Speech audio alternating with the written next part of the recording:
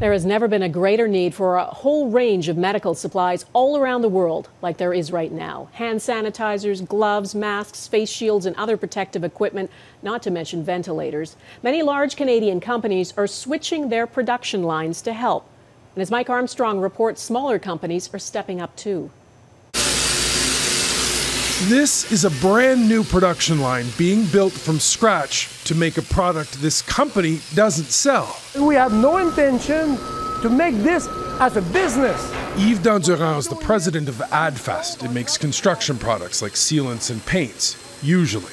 The goal is to be up and running producing hand sanitizer by next week. And they're not talking about small batches. Well, we have a capacity of approximately 32,000 liters a day.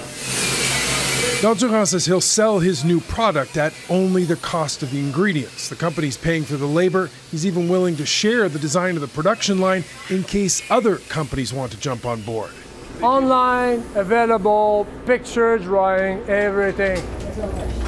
The critical shortage of medical supplies could cost lives. More ventilators are needed for patients, while protective gear is desperately needed for the healthcare workers treating those patients.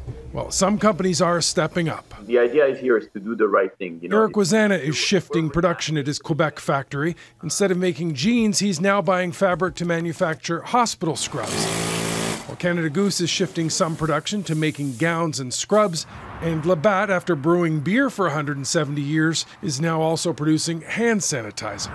This plant north of Montreal has a new product. Bauer Hockey says it's now making face shields for healthcare workers that in this crisis everyone's on the same team. Well, they have teammates. A group of 3D printers in southern Ontario says it's producing shields to help until big manufacturers can ramp up. We're not charging at this point, if I ever did charge anything, it would just be material cost. What we're saying is about time to give back now. Dandurand is appealing to other companies to step forward, calling on anyone who can pitch in to fight a common enemy.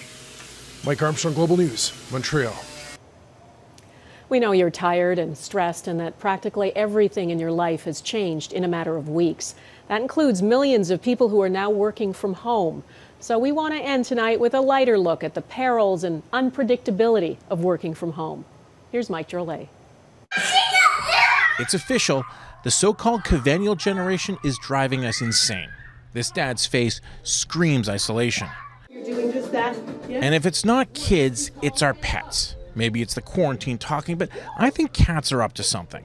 They're always there pawing at something or sitting in a devious way. It's different with dogs and all their tail wagging.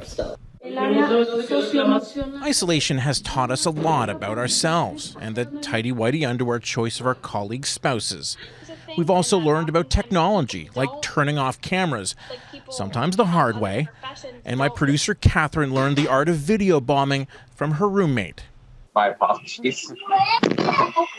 It's a lesson he could have learned from this man, who rose to fame because of his kids a little bit short. And who now has seemingly given up trying to keep them out of his office. Perhaps he knows there's no refuge.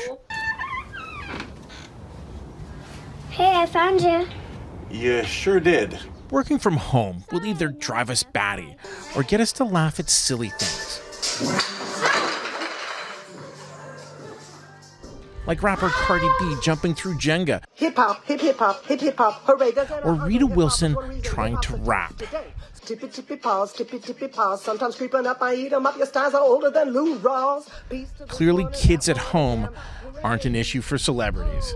Mike Drolet, Global News, Toronto. Oh, hey. We know you have lots of questions about this virus. Our Jeff Semple will continue to consult with experts and try to answer them. Email your questions at globalnews.ca, and our website also has a special page dedicated entirely to COVID 19.